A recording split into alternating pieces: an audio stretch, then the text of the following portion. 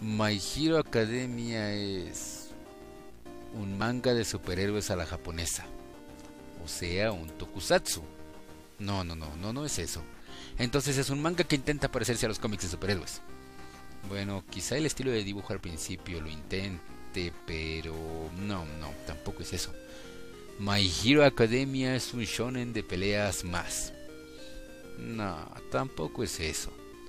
Bueno, bueno, es que no es como que sea sui generis, pero no, ni tampoco el otro extremo, o sea, no es genérico. No, no, no, no, no, no, no, no. My Hero Academia es... Sí, ya sé. Haru llega tarde a la fiesta como siempre. Que sí, que el anime ya va por la tercera temporada y el momento de hablar de esta serie ya se pasó. Porque así funciona YouTube, ¿no? Si el tema no es del momento, eres invisible. Pero saben que me da igual. No tengo monetización hace como tres meses o algo así. Además, apenas me estoy leyendo el manga y... no estoy viendo el anime.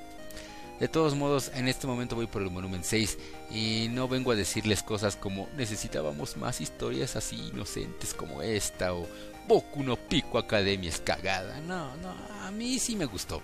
Y ya saben que la subjetividad yo me la paso por el forro, así que déjenme poner mis ideas en orden.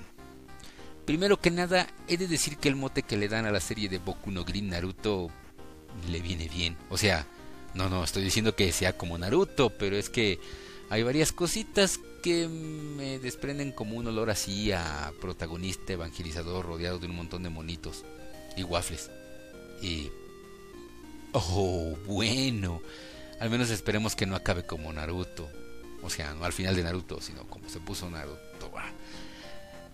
La verdad, no sé absolutamente nada del autor Ko... Ko... Ko... a ver, Kohan.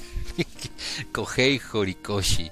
Pero desde las primeras páginas de volumen 1 su estilo de dibujo muy típico del shonen, pero con dinamismo y trazos pero con dinamismo y trazos más propios de algunos dibujantes del cómic, solo algunas cositas, o sea, tampoco. Me cautivó y no lo digo por All Might que siempre está todo sombreadote, lo digo por cosas como esto. Pero tristemente eso se va diluyendo y convirtiéndose en algo pues más estándar del tipo de dibujo visto en el manga shonen poco a poco durante los primeros dos volúmenes. Y luego en el 3, no sé, esos capítulos no los vi. o sea, esos lo vi en anime esa parte. Es que no estaba ese volumen en los que me prestaron. Pero para cuando lo retomé en el 4 ya no había ni rasgos de eso. Y pues bueno, o sea, los dibujos siguen estando llenos de vida y tal, pero como que para mí falta algo. Y bueno, dibujitos bonitos y tal y tal, pero ¿y la historia, Haru? ¿Y la historia? No, no es cosa del otro mundo, la verdad. La cosa va más o menos así. Izuku Midoriya es un niño con el pelo de brócoli que nació sin pito. Digo, superpoderes, sí, sin superpoderes. En un mundo donde hace no sé cuánto empezaron a hacer gente con superpoderes, a los que llamaron don, o singularidad, o quirk, o ustedes elijan como quieran decirles. Y pues bueno, los superhéroes se convirtieron en más bien un elemento de la sociedad y algo a lo que la gente aspiraba a hacer siempre cuando tenían dones y tal. Este mundo puede, puedo, no sé, suponer que es nuestro mundo en un futuro no muy lejano o algo así, pero... O sea, es que en la página 5 del primer capítulo salen ahí las sombras de aguja dinámica, el hombre maraña, el de Viruman y otros como ejemplos de el sueño que se convirtió en realidad. Aunque yo que sé, Solo soy un treintañero que ve caricaturas al que sí le gustaron los nuevos Thundercats. El punto es que Midorilla este quiere ser como el All Might, el superhéroe conocido como el símbolo de la paz. Pero pues como... Pero pues como le dicen que no tiene poderes, no le queda más que convertirse en un flipado de los héroes que los estudia porque pues es un singularidad. Debo resaltar, no, Midorilla no tiene singularidad, porque la vida es cruel. Encima su mamá se pone gorda de la pura pena y su amigo Bakura, digo Bakugo, lo trata feo porque pues el necio de Midoriya quiere entrar a la UA y... ¿Qué, qué, es esto? ¿La escuela no se llama Boku no Hiro? Esto es publicidad engañosa, qué fraude. Oh, dice ahí que es UA, que es AU al revés, que significa héroe. Tiene sentido, supongo.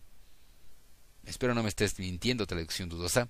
El punto es que Bakugo, Bakura le tira sus libros y le hace bullying al pobre Midorilla desde que eran niños. Y más ahora que ya van a hacer los exámenes de admisión para la prepa y demás cosas japonesas de esas. Ahora, ahora, hagamos un pequeño paréntesis. Les haré una pregunta, un pequeño ejercicio que creen que va a pasar antes de que el volumen 1 acabe. Opción A. Midorilla se rinde y decide que esas cosas de héroes no sean para él y se mete a trabajar en un Soriana. Opción B.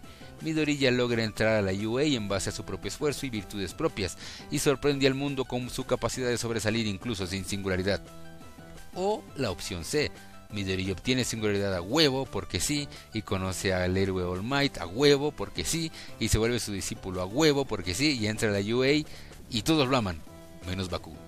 A huevo porque sí. Quitemos esa opción C, o sea, eso no va a pasar y... Ah. Déjenme borrar la parte del guion donde dice que la vida es cruel.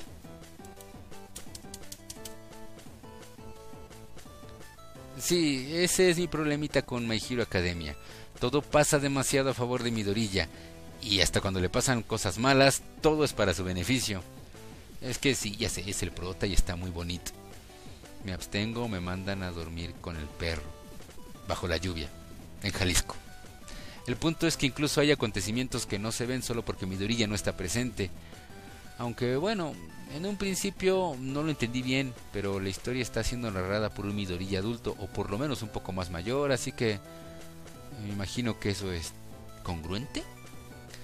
Fuera de eso, pues lo demás está bien, o sea, para el tipo de historia, o sea, tenemos al grupo donde va Midorilla, que todos son prodigios.